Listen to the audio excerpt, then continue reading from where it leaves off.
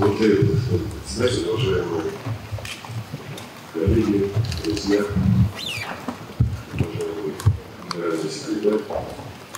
Мы рады возможности вновь поговорить о Министерстве языке для проведения уже седьмого министерства заседания стратегического диалога России с сотрудничества арабских стран Персидского залива. Как сказал только что наш председатель Синичев, в прошлом году мы встречались Москве, а, и сегодня здесь в штаб-квартире Совета сотрудничества. Наш стратегический диалог на уровне министров был запущен 13 лет назад. За это время мир сильно изменился. Можно констатировать, что входит в прошлое многовековая гегемония Запада, которую США и их союзники пытаются всеми способами сохранить. И постепенно появляются, несмотря на все это, постепенно появляются какое-то новое, более справедливое, многопорядное устройство, которое должно опираться на принцип устава ООН, баланс интересов всех стран и больших и малых немало которых учили право народов самим определять свою судьбу. Нет сомнений, что Совет сотрудничества становится одним из важных самостоятельных центров формирующегося многополярного мироустройства. И роль Совета сотрудничества будет возрастать, в том числе в связи с сохранением и даже после многочисленных кризисов в регионе Ближнего Востока. Здесь сохраняется целый ряд конфликтов, которые создают угрозы для международного мира и безопасности и сдерживают возможности для устойчивого развития многих стран региона.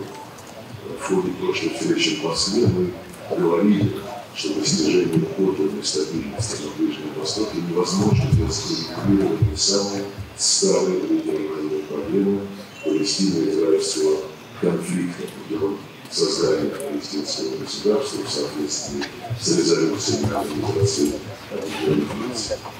Время в очередной раз, к сожалению, подтвердило, что без решения этой проблемы регион не сможет развиваться стабильно. С октября 2023 года противостояние переживает очередную драматическую эскалацию. Причем на этот раз насилие было беспрецедентное, поистине катастрофические масштабы. Количество жертв среди мирного населения сектора газа уже превысило общее число погибших раненых в ходе всех предыдущих арабо-израильских войн. Вместе с арабскими друзьями, включая страны Совета сотрудничества, нам удалось обеспечить, несмотря на сопротивление Соединенных Штатов, обеспечить принятие нескольких резолюций Совета Безопасности и Генеральной Ассамблеи прекратить огонь. Наши друзья из Катара играют наряду с другими участниками ключевую роль в непрямом переговорном процессе между Израилем и Хамас, который направлен на урегулирование ситуации.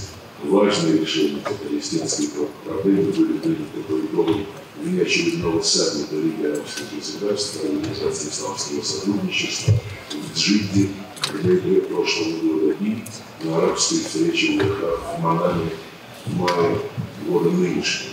К сожалению, пока нам реализовать обстановку не удается, неспособность мирового сообщества остановить боевые действия в секторе Газа и прекратить массовую гибель его жителей привела к резкому ухудшению военно-политической ситуации во всем регионе от границы Ливана и Израиля до акватории Красного моря. И одновременно на новый опасный уровень вышло противостояние между Израилем и Ираном.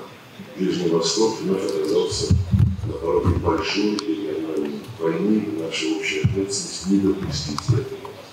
Работаем над нормализацией обстановки со всеми сторонами, тесно координируя наши действия и в ООН, и других площадках с нашими друзьями из Совета сотрудничества.